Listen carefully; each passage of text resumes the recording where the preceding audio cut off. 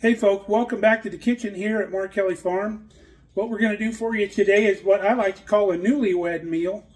It's something if you're newly married and you haven't got a lot of experience cooking and you want to put something good on the table for your spouse, this would be a good, quick, and easy idea. So come along for the ride.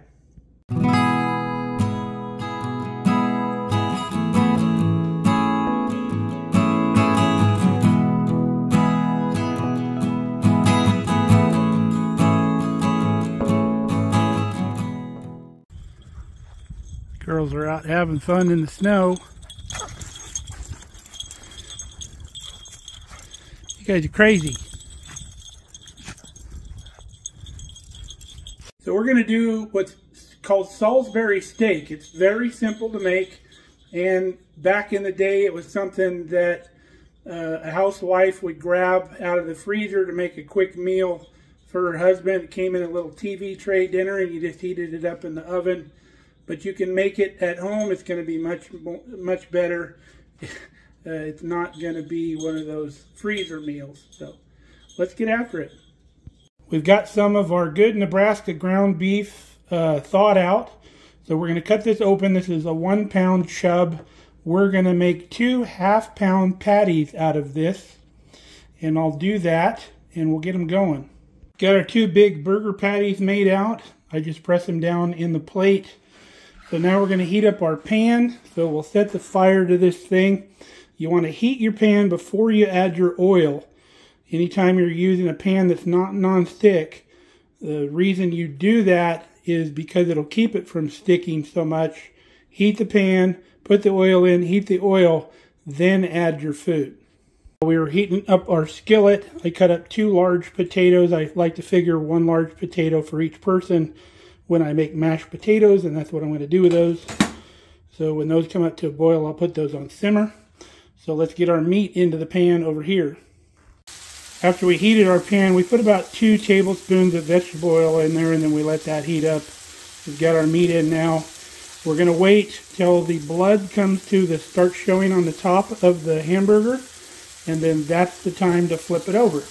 Now, if you wanted a little crust on these, you could have patted some flour on the outside of these and shake off the excess. And that would give you a little bit more crust. But we're going to serve this with the gravy, so we don't really need to worry about that step. We're just going to season them up nice. So after I threw the hamburger in, I went downstairs in the basement into our freezer. Got some corn for dinner. You've seen me use these vegetables before. They're a real good, quick, easy vegetable for dinner. This is uh, steams in six minutes in your microwave. If you look at the ingredients, corn. So you can't beat it. You don't have to worry about what's in it. So I just throw it in the microwave in here. And then we're, we're about six minutes away from dinner. We'll fire that up. All right, you see how the blood's running out of the top there? That's oozing out. That's what you want to look for. So we're going to flip these over. I can't do it one-handed because I want to tilt the skillet and get all the oil so I don't splash. Looks beautiful. Now we're going to put some seasoning on here. I like to do it after I flip it so the seasoning doesn't burn on the bottom of the pan. And when I take these out of the pan, I'll flip them over and season the other side. Now we're going to wait until we see the juices come up again, but this time we'll wait till the juices come out clear. You don't want to smash your hamburger patties. It's the worst mistake you can make. So if you cook in a restaurant, please don't smash my hamburger patties. I like the juice left in them.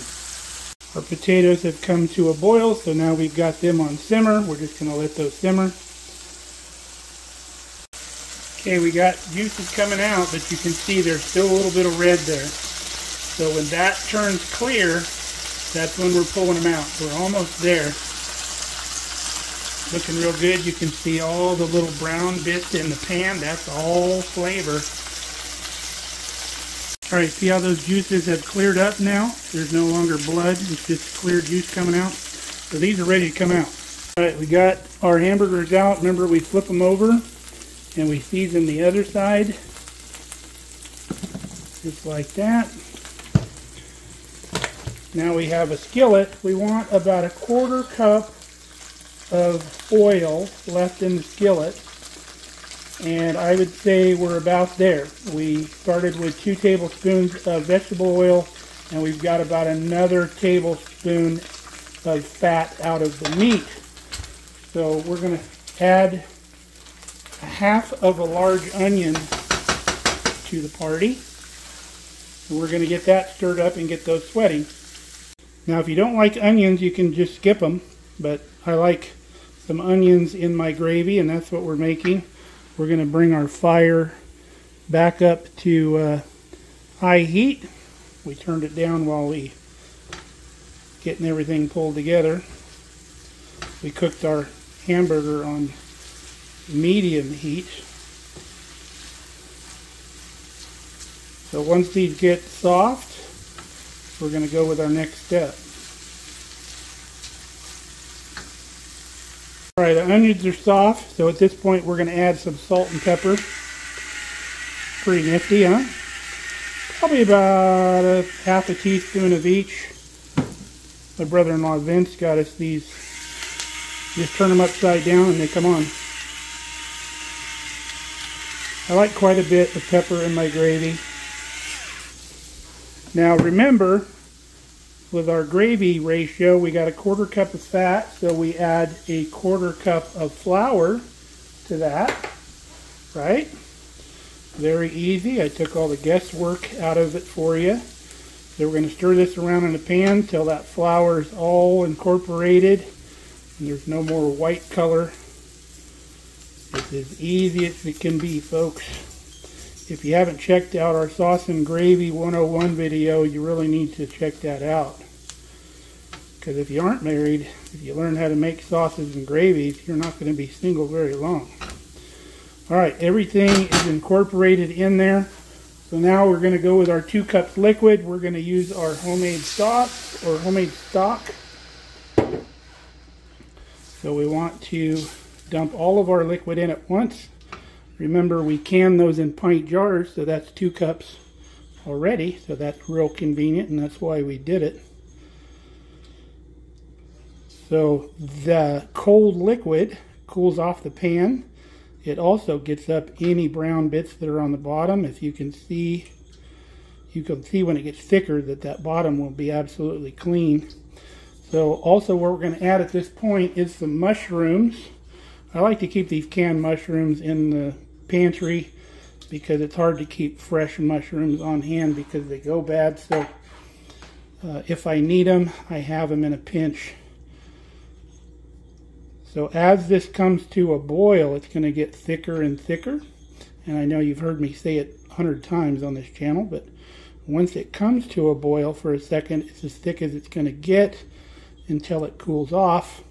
Or you can continue to cook it, and as more moisture comes out of it, it'll get thicker. But the ratio that I give you with the quarter cup, quarter cup, and the two cups of liquid, it should be just about right as soon as it boils. Now, you don't have to use stock in this. If you prefer like a white gravy, you would use milk. Or if you wanted a little wine in it, you could use maybe half stock or half stock or half water, half wine or something. Remember, you can use any liquid you want. But if you want turkey gravy, you'd use turkey stock. If you want chicken gravy, use chicken stock. Whatever. Super easy, super cool, super versatile. So once this comes to a boil, we'll put it on low, and then we're going to add our patties back in here and just kind of let them simmer and get all warm and cozy in there. So you see the bottom of that pan, how clean it is? You can get a glimpse of it now. All right, we'll come back when that's simmering. All right, we just hit a simmer. You can see the consistency is perfect. So now let's add our patties back into the mix.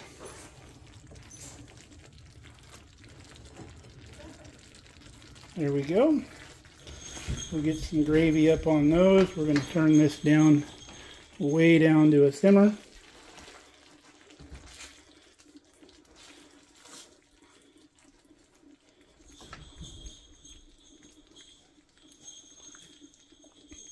And then we're going to let this get happy for a while.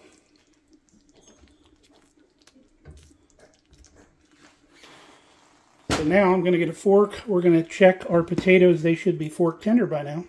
Our potatoes were ready, so we drain them. Remember in our WearEver pans, we can drain right with, with the pan with a lid on it.